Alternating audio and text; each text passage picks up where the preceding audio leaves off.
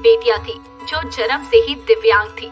उसकी बड़ी बेटी बिंद्रा बोल नहीं सकती थी तो मंझली बेटी सुन नहीं पाती थी और छोटी बेटी दृष्टि देख नहीं पाती थी। लेकिन तीनों बहनों के बीच इतना प्यार था कि उन्होंने एक दूसरे की कमी को कभी भी उजागर नहीं होने दिया। तीनों मिलकर एक दूसरे की कमी को पूरा भी किया थी।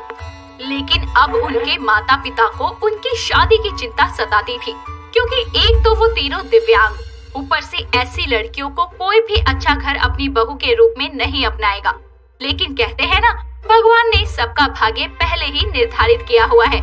इसीलिए उन तीनों दिव्यांग बहनों की शादी रमन गगन और अमरनाथ के तीन भाइयों से हो जाती है और भगवान की कृपा से तीनों एक ही घर में जाती हैं, जहाँ उनकी सास सरला देवी उनका स्वागत करते हुए बोलती है। अरे मेरी अंधी गुंगी बहरी बहुओं तुम लोगों के आगे कलश रखा है। उसे पैर से गिराकर अपने कदम अंदर रखो। बिंद्रा गूँगी थी तो वो बोल नहीं सकती। लेकिन सुन और देख सकती थी तो वो बड़े ही आराम से कलश पर पैर मारकर अंदर आती है। और बहरी सुनैना भी बिंद्रा को देखकर कलश गिराकर अंदर आ जाती है। और अंधी दृष्टि को कलश ना दिखने की वजह से वो इधर उधर पैर मारने लगती है। और ये देखकर सरला की पड़ोसन मधु बोलती है, अरे ये तुम्हारी छोटी बहू तो लंगड़ी खेलने लगी। इसको बोलो पहले कलश गिरा के अंदर तो आ जाए। अपनी बहन का ऐसे मज़ाक बनता देख। बिंद्रा और सुनैना उसका हाथ पकड़कर उसके कलश को गिरवाकर उसे घर के अंदर लाते हैं। और ये देखकर बिंद्रा का पति रमन अपनी पड़ोसन मधु से बोलता है, आंटी जी, किसी की कमी का ऐसे मज़ाक नहीं उड़ाना चाहिए। और वैसे भी इन तीनों में कोई कमी नहीं है, क्योंकि ये तीनों एक दूसरे की कमियों को पूरा करती हैं। बेटा ऐसी क्या मजबूरी थी तुम लोगों की जो ऐसी आँख मुँह से अपाहिज लड़कियों को अपने घर की बहू बनाया? आंटी जी एक घर को संस्कार से भरी बहू की ज़रूरत होती है जो अपने ससुराल को स्वर्ग बना दे और इन तीनों में वो गुण थे और हमको तीनों के गुणों के आगे ये कमियाँ बहुत छोटी लगी। अरे रमन बेटा इन लोगों को ये ज्ञान की बातें समझ नहीं आएँगी। क्यों अपना समय बर्बाद करता है? चल बहुओं को अंदर लेकर चल। सरला अपने बेटे और बहुओं के साथ घर के अंदर आती है लेकिन उनकी ये तीखी बातें सुनकर मधु मन में बोलती है, बहुत उड़ रही हो ना अपनी बहुओं की एकता पर। मैंने भी ना तुम्हारे साथ साथ इन बहनों में फूट ना डलवाई तो मेरा नाम भी मधु नहीं। मधु अपने घर चली जाती है तो वहीं सरला अपनी तीनों बहुओं से बेहद खुश होती है, क्योंकि तीनों भले ही दिव्यांग थे, लेकिन उन्होंने मिलकर घर की सारी जिम्मेदारियों को संभाल लिया था। सरला को की ज़िंदगी ऐश की हो गई थी। तीनों बहनें एक दूसरे के सहयोग से काम आराम से करने लगी थी। लेकिन कहते हैं ना, खुशियों को नज़र बहुत जल्दी लग जाती है। वही नज़र लगाने एक दिन सरला की पड़ोसन मधु घर आती है और उससे बोलती है, और सरला बहन, सब ठीक तो चल रहा है ना? मधु बहन, भगवान की कृपा से सब ठीक है। बहुओं ने पूरा घर संभाल लिया।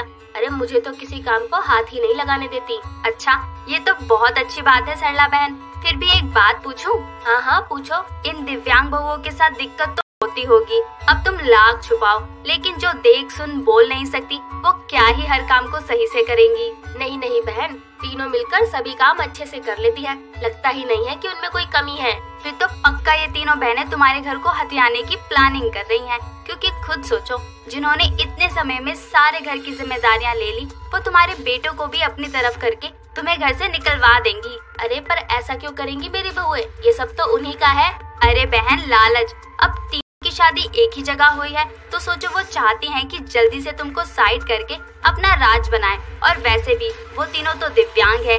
तुमको कुछ होने पर लोग उनको कुछ बोलेंगे तो नहीं। मधु की बातें सरला के दिलो दिमाग में घर कर जाती है। और वो अपनी बहुओं के बीच फूट डालने के लिए उनको बुलाकर उनसे बोलती है। बहुओं में देख रही हूँ कि तुम तीनों में कोई काम कम करता है, कोई ज़्यादा। ऐसे ही एक इंसान के ऊपर सारी जिम्मेदारियाँ आ जाएँगी, ये कब तक चलेगा?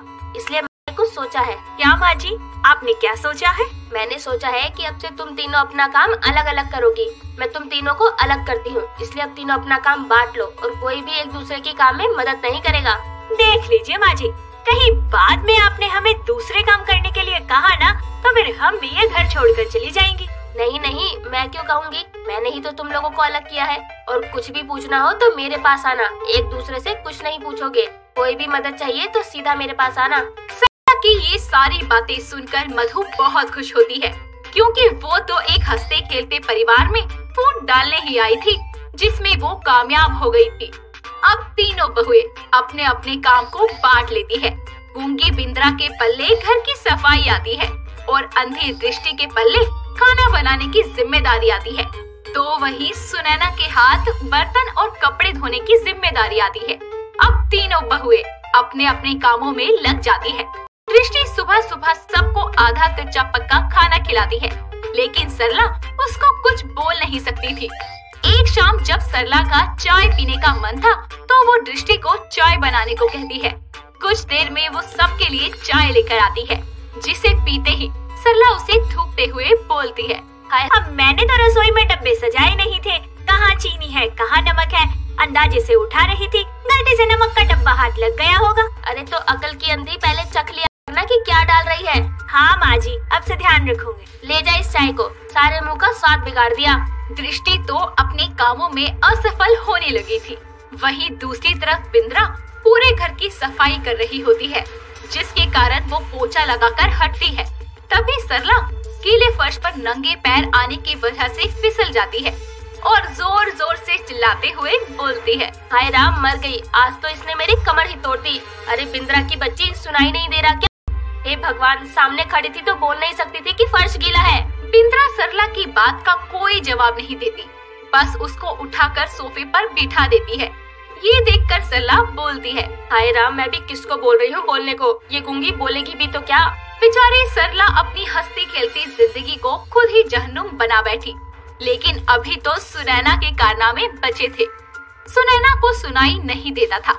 इसीलिए जब वो बर्तन धोती तो इतनी ज़ोर ज़ोर बर्तन बजाती कि सरला के दिन का आराम भी हराम हो गया था। वो जैसे ही सोने जाती।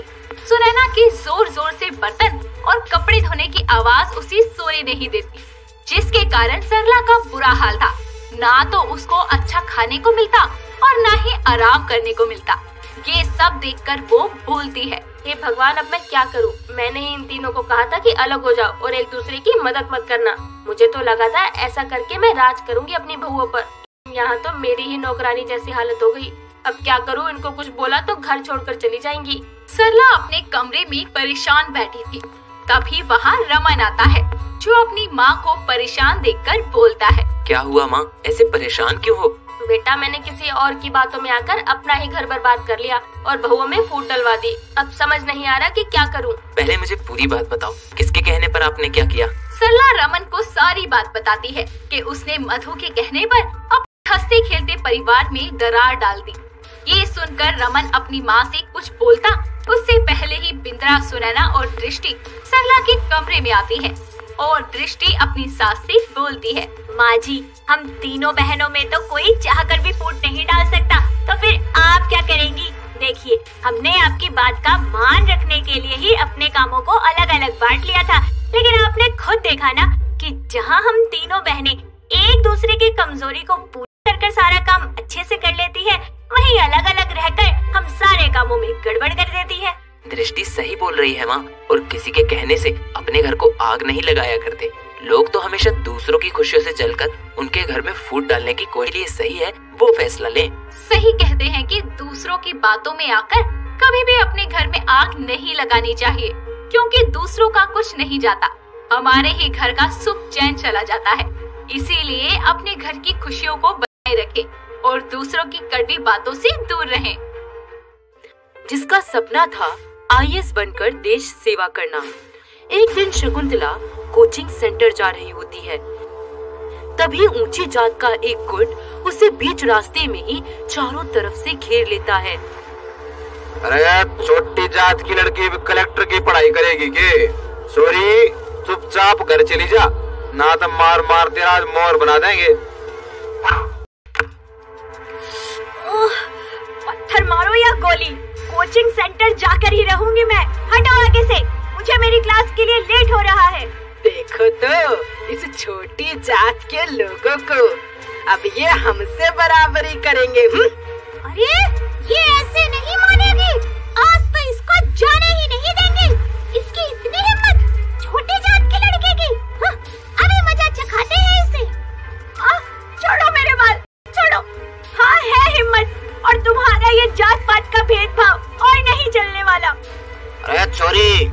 अरे चोरी ये किताबें पढ़ के थारा दिमाग खराब होगा केवल और कुछ नहीं मिलना तुम्हें।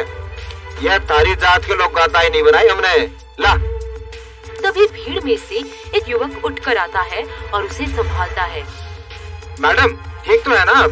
मैं ठीक हूँ बस अरे आप लोगों को शर्म नहीं आती क्या? लड़की को पढ़ने से रोकते हुए just because she belongs to lower caste it doesn't mean कि आप इन लोगों को दबाते फिरेंगे। अरे किस बात का खौफ है तुम्हें? क्यों डरते हो उन लोगों से? अरे अंग्रेज़ कौन है तू? बेबे लागे है क्या तेरी? काम का ज्ञान तो दे मत। ज्ञान चंद अरे आशिक बन रहा है क्या ज़्यादा? साढ़े दो मिनट में आशिकी काट देंगे तेरी। और ये कैसी मानसिकता है आप लोगों की कि एक लड़की को पढ़ने से रोक रहे हो? अरे अपनी सभी मान मर्यादा भूल गए हो क्या? ये नीच जात की है। इनकी क्या मान मर्यादा? अरे क्या ऊँची नीची जाति लगा रखी है? इंसानियत नाम की चीज़ नहीं है क्या तुम में? जाति के आधार पर इस तरह भेदभाव करना शोभा नहीं देता आप लोगों को। और पता भी है ये कानूनी अपराध है। छोड़ी ना बाद में पहले तन्ने समझाऊँगा काम का कानून। अरे बाजर है पुलिस आ गई। अरे कल्टी मारो फटाफट। इस तरह पुलिस की गाड़ी को आता देख ऊँची जात का गुट नौ दो ग्यारह हो जाता है। हाँ भाई साहब फ़ोन किया था। क्या मैटर है? जी सर मैंने ही कॉल किया था आपको।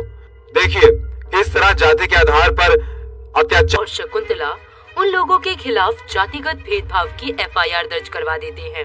पुलिस अपनी कार्यवाही में लग जाती है। वहीं दुष्यंत शकुंतला की मरहम पट्टी करवाने के लिए उसे क्लिनिक में ले जाता है। शकुंतला को दुष्यंत का ये स्वभाव बेहद पसंद आता है। दोनों अपने अपने रास्ते चले जाते हैं।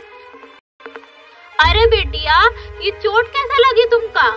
जी कुछ नहीं माँ। बस ऐसे ही। अरे सब पता है मोए ये ऊँची जाति वाली लंदन का क्यों है? का? अरे बिटिया ये सब उन लोगों ने किया है। कल से तू कहीं नहीं जाएगी समझी? अरे मेरी गुड़िया आज से तो कोचिंग सेंटर जाना बंद। तो जान से बढ़ के कुछ ना मान ले क्यों? इसमें मेरी क्या गलती है? क्यों ना जाऊँ मैं? मैं तो जाऊँगी पढ़ने। हाँ उन सब के खिलाफ तो मैंने कंप्लेंट भी दर्ज करवा दी है। अरे बिटिया कान बड़े लोगों से खामों का पंगो ले रही है। गलत उन्होंने किया है। मैंने नहीं मैं नहीं डरने वाली उनमें से किसी से भी। पिताजी हमें अपने हक के लिए लड़ना होगा आगे बढ़ना होगा। अरे ई ना मनिए इसको मेरी बहन के घर छोड़ाओ। कहीं ऊंच नीच हो गई ना तो सब धरा का धरा रहते ही है शकुंतला के माता पिता उसे उसके शहर में रह रही मौसी के घर भेज देते हैं। अब उसकी बाकी की यूपीएससी की तैयारी शहर में ही पूरी होती है जहाँ के कोचिंग सेंटर में इत्तेफाक से उसकी मुलाकात दुष्यंत से होती है। अरे तुम यहाँ? हाँ मैं यहाँ। तुम्हें दोबारा देखकर अच्छा लगा। तुम यहाँ शहर में कब से रहने लगी? उस गाँव में पढ़ना जरा मुश्किल हो गया था। हर कोई तुम जैसा नहीं होता ना। And by the way thank you उस दिन के पर तुम्हारी बहादुरी भी कुछ कम नहीं है। वैसे अब तुम एक इंस्टीट्यूट में है तो मुलाकात तो होती ही रहेगी। दुष्यंत और शकुंतला बहुत अच्छे दोस्त बन जाते हैं और फिर आहिस्ता आहिस्ता ये दोस्ती तब्दील हो जाती है मोहब्बत में। पर दुष्यंत के माता पिता को ये रिश्ता मंजूर नहीं होता। लेकिन समाज की पीढ़ियों और पुरानी रीत को तोड़ते हुए दोनों एक दूसरे से कोर्ट मैरिज कर लेते हैं। शादी करने के बाद जैसे ही दुष्यंत शकुंतला को लेकर अपने घर जाता है। अरे बेटा। अरे कौन है लड़की? पिताजी ये आपकी बहू शकुंतला है। हमने कोर्ट मैरिज कर ली। बादशाह मेरी नजरा से दूर। पूरे समाज में तूने मारी तू तो करा दी। कदी माँ आपने ही तो कहा था कि सब लोग एक होते हैं। तो अब ये भेदभाव क्यों? अरे वो तो बात की बात थी पर ये क्या किया तूने? नीच जाति की ब्याह लाया प्रणाम सासू माँ अरे कब तक आप लोग जो बराबरी का हक होता है? अरे तू इस दलित लड़की को ब्याह लाया जिसकी वजह से हमारी जाति के कई लोग जेल गए थे। मैं कह रही हूँ अभी इस रिश्ते को तोड़ दे। अरे गुड्डे गुड़िया का खेल समझा है क्या आपने शादी ब्याह को? आपकी ऊँची जात वाले लोगों ने मेरे साथ क्या किया था? वो याद नहीं आपको? जो किया था सही किया था। आई पड़ी मुझसे लड़ाएगी? इतनी हिम्मत। अभी बताती हूँ। बस माँ बस। बहुत हो गया। अब और नहीं चल सकता है जातिवाद प्रथा। हमें इसे खत्म करना ही होगा। आप अपनी बहू को अपना लीजिए वरना मैं घर छोड़ दूँगा। हं, आज के बाद मेरे घर की दहलीज पे कदम मत रखियो। चल। इस तरह दुष्यंत के माता पिता उन दोनों को जलील कर घर से निकाल देते हैं। वहीं रूढ़ीवादी समाज भी उनका दाना पानी बंद कर उन्हें बहिष्कृत कर देता है। समाज पे धब्बा है ये आए बड़े आईएएस बनने। हाय इंटर कास्ट शादी इस तुच्छ जाति वाली ने मती मार दी। हाय हाय लोगों की दकियानुसी बातों और तमाम मुसीबतों के बाद भी अपनी शकुंतला और दुष्यंत की इंटरकास्ट जोड़ी हार नहीं मानती। इन विपरीत परिस्थितियों से लड़ते हुए वो दोनों अपनी जॉब और पढ़ाई जारी रखते और आईएएस ऑफिसर बनकर एक मिसाल बन जाते हैं, जिसके कारण समाज की छोटी सोच में परिवर्तन आता है। अरे जात पात कछु नहीं होता। बता दिया अपनी शकुंतला बिटिया ने, कितना नाम रोशन किया उसने अपने लाल कुआ गाँव का हाँ। अरे वाह, कितनी अच्छी सोच वाला लड़का है ये दुष्यंत। जात पात में कोई भेदभाव ही नहीं करता। इतनी अच्छी सोच की वजह से ही शायद आज ये आईएएस बन गया है। अगर मुझे भी सफल हो है ना? तो ऐसी ही सोच रखनी पड़ेगी। रूढ़ीवादी सोच वाला लाल कुआँ गाँव आखिरकार उदारवादी मानसिकता अपना ही लेता है। वहीं दुष्यंत और शकुंतला के परिवार वाले भी जात पात को भूल दोनों को अपना लेते हैं। इस तरह पूरा समाज समानता के साथ खुशी खुशी रहने लगता है। तो दोस्तों, क्या आपके आसपास भी जात पात को लेकर भेदभाव है? कमेंट करके ज़रूर बताइए। दोस्तों, अगर आपको ये कहानी पसंद आई तो इसे लाइक करें शेयर करें और कमेंट करके बताएँ कि कहानी में आपको सबसे अच्छा क्या लगा।